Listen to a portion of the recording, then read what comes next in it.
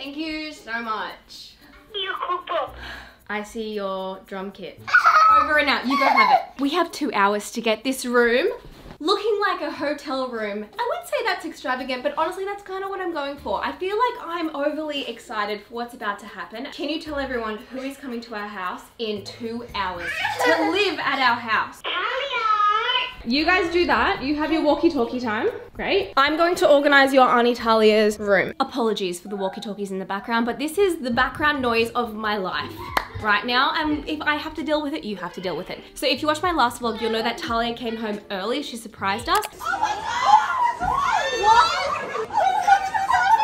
But she was always gonna come back for a month. She's here for some weddings, to see us, because she's been away for 10 months. She moved to London indefinitely, is that the word? Like just wanted the experience wanted the experience, so we'll see what happens. So she is going to stay at our house for at least two weeks and then I think maybe my parents' house for two weeks. Fox has graciously given up his room that honestly he doesn't even sleep in. He sleeps downstairs with Malachi in the bunk room. She's gonna be here in two hours. I just wanna make it a bit more luxe and a bit more 28 year old girl vibes, except she's obsessed with Toy Story. So I thought it would be funny to put like, right, are you ready for adventure? this on her bed. But I want it to be like a bougie Airbnb or like even like a bougie hotel when you rock up and there's like a pamper pack on the bed. I'm thinking of steaming this linen robe. Oh my gosh. Thank you so much. Linen robe, towel, and then I might even give her some skincare because surely I have some PR skincare that I'm not gonna use or I'm not gonna get to. Let's make a little pamper pack on the bed. I know to some this is so extra, but this is my love language. Like I love hosting people, cooking for people. Just working out if they're fighting or playing army. Boys are crazy. anyway, my love language is not gift giving, but it is like taking care of people and hosting people. So I thought this linen robe is a bit luxurious honestly, this is good enough. We are on a time limit. Hey, I can either do my favorite checkered towel, or do you know what's nice when you stay at somewhere other than your house? A crisp white towel because white doesn't lie. Like I hate going places and there's like a dark charcoal towel. I'm like, is that clean? All right, let's do white. Her own hand towel, matching. Let's place that and see how it looks. I feel like most nice hotels I go to, it's in a roll. It's so weird because I feel like Talia, my little sister, and I used to do this kind of stuff as a game. We'd play hotels or that we were living in a boarding school and we'd make the room up. Like, I don't know, it's weird doing it for real. I will never claim to be the world's best folder. I'm actually the worst in the family, just above Fox and Malachi, but Kurt is a much better folder than me, but this is looking good so far. Gonna give her my favorite hyaluronic serum by Esmi, a vitamin C serum, this oil control, gua sha, and the Esmi firming moisturizer. Not the aesthetic, but nostalgic, and she'll get it. But doesn't this look cute? Do you wanna make her a welcome card? No. Okie dokie. Can you tell Fox isn't my colorinera, my drawer? He's my builder. Malachi, do you want to make Auntie Tulls a card? No. No.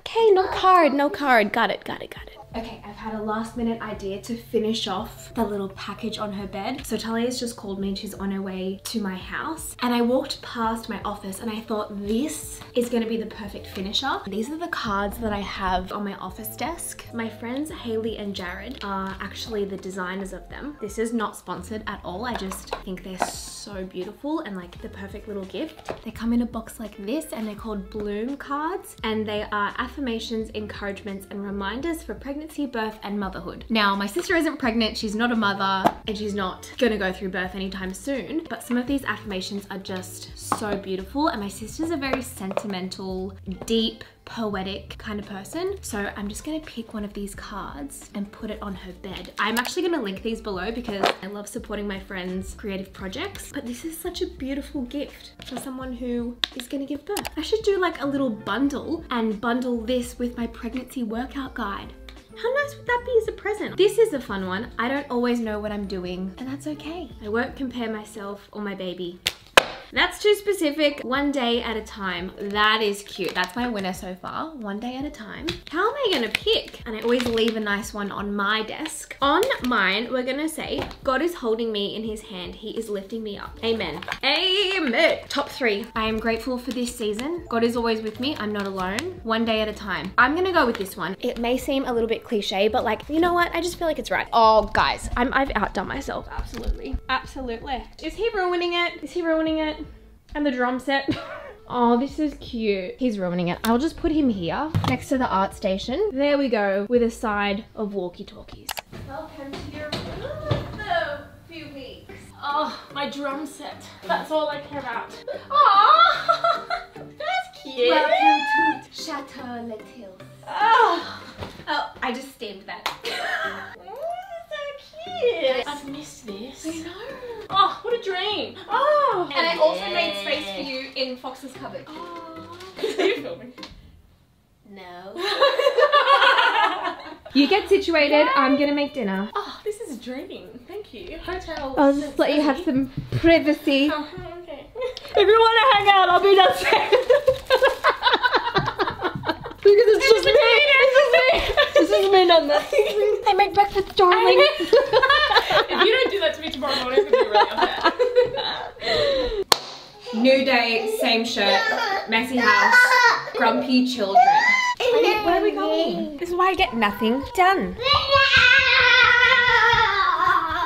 Having ice cream right now. Have a bar and then I'm gonna get ready, okay? I feel like I've been a little bit too busy being the hostess with the mostest because I just have let my house crumble. Every single room is bad. When my house is chaotic, my mind is chaotic. So today's gonna be a little bit of a reset day. This house, Malachi, needs an overhaul, doesn't it?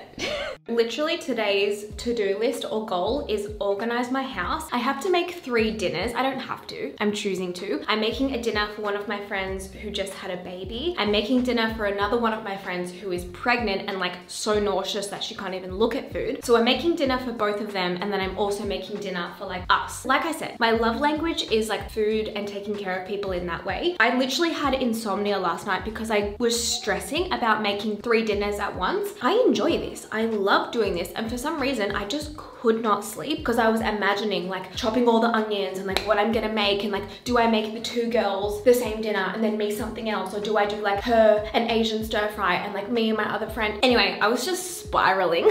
Originally today I was gonna have a work day. I was gonna get the boys babysat but our babysitter had a migraine today. So I'm just taking that as a sign to just like fully have an at-home reorganization day for myself and my own mental health I'm gonna organize the house and I love watching those vlogs and I know you guys love watching those vlogs. And then to take care of like my friends and fulfill my love language I'm gonna make my friends dinner. The drama, Malachi. So I haven't fully worked out what I'm gonna make them yet. I'm thinking of doing like a one pot dinner for both of them because don't ask me why. I have three cast iron pots, like the Dutch ovens. So I figured I would give them one each and they can just like keep it until they're ready to give it back. You know, I'm like not desperate for it back. And I feel like that will just reduce my washing up, you know. I will link it here. I filmed a recipe before that I usually go to when I'm making like a love meal. If someone's had a baby or they're having a tough time, I usually do like a wholesome lasagna or a lamb ragu but because I'm making three, I just want to decrease the washing up. Also because I have kids.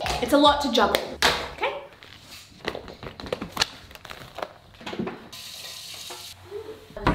If you, you blink as a mum and your house flips upside down. Are you noticing this? Yep. Sunee side up, my healthy cookbook. I'm thinking of making the girls this is good because I can make a big bulk batch. I just wouldn't do the prawn because I'm not sure if they like prawns. The simple paella. Paella. How do you say it, Tals? I think it's like hair. I think it's paella. But us Aussies don't have the best dialect. I'm not even going to make a list. I'm just gonna take a photo of my ingredients and then obviously I'll just double it. If you have my cookbook, Sunee Side Up, it is page 120 and this recipe is dairy-free, gluten-free and nut-free. Link in my description box below if you want my book that also looks stunning. In our kitchens, great. Let's do it.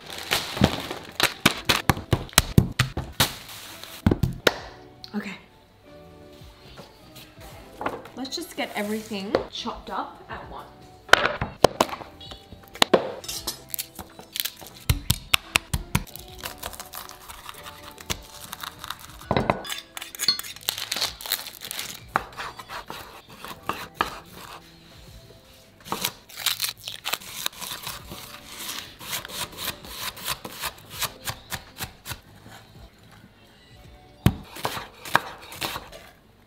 Mui?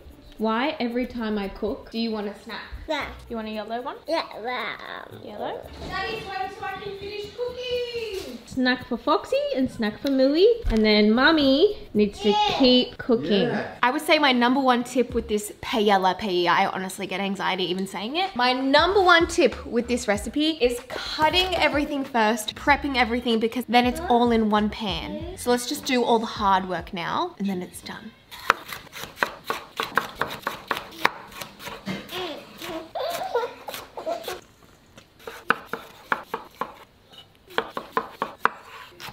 Malachi, you seem very awake and I'm not ready for you to give up your day nap at all.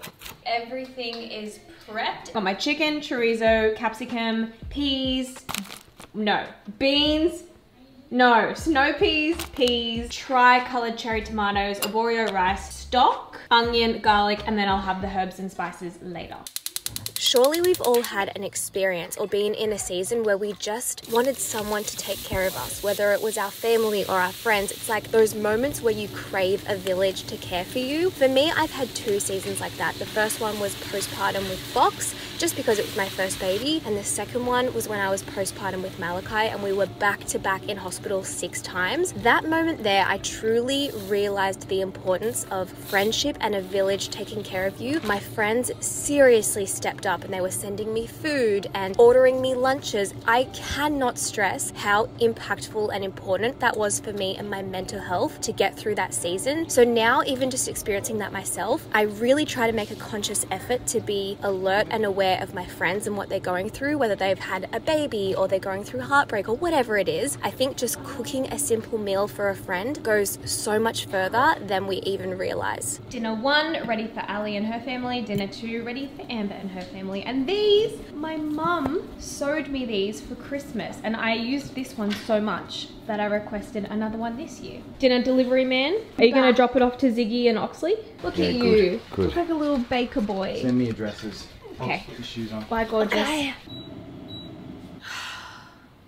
I'm looking very much how I feel right now. I haven't sat down all day, which if you're a mum, that's honestly the usual. That is the norm. It's 4 p.m. The only time I've sat was in the car going to get groceries. Malachi's asleep. He's going to be awake in like 17 seconds. I have our roast in. I'm doing a three hour slow cooked roast. And I've just discovered that I have red wine everywhere because I seared my roast in the fry pan and deglazed the pan with red wine and beef stock. Now I have my whole kitchen to clean and like I haven't even started on that house organization approach idea that I had today. I'm just tired. Like it gets to this time of the day and I'm like, should I just sit? Like honestly, Abby, you're like, yes, this is the vibe. Like, do I just sit until Malachi wakes up and then I just look around and I feel guilty? Even my sister was like, bro, your life, and I think like your life, like a mum's life, a stay at home mum's life, just like. I am so grateful. I have never, ever been this happy, content, fulfilled, and like I feel like I'm living my purpose right now of like just having my boys at home. I feel so grateful, so grateful that I'm able to be a stay at home mom. I really do. But yeah, if you are in the same boat as me and you just feel like, what is happening to my house every day? It's a bomb. Same literally same. And people say to me, just leave it till the end of the day and like do a big clean. By the end of the day, I am cooked. I'm, I'm exhausted. I'm exhausted and I don't want to do that. Why is there a spoon here? Why is there a spoon here? I want to spend time with my husband. I want to like sit and like read my Kindle. I want to do fun stuff. Okay, the plan is park everything. Park everything until tomorrow except the kitchen. Like this space has to be clean before Malachi wakes up, which like we have five minutes. Let's clean this space and then like sit. Like sit for three minutes. That would be amazing.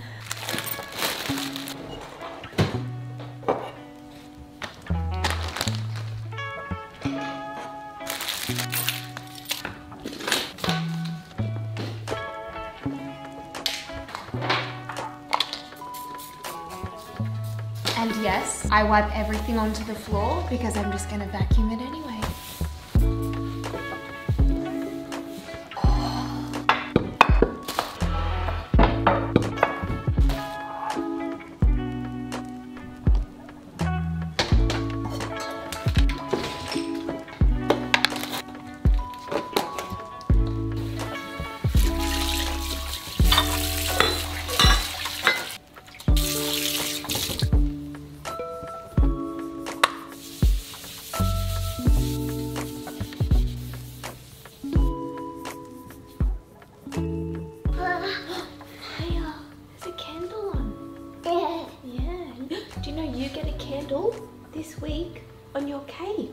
Cake? Fire. Fire. Yeah.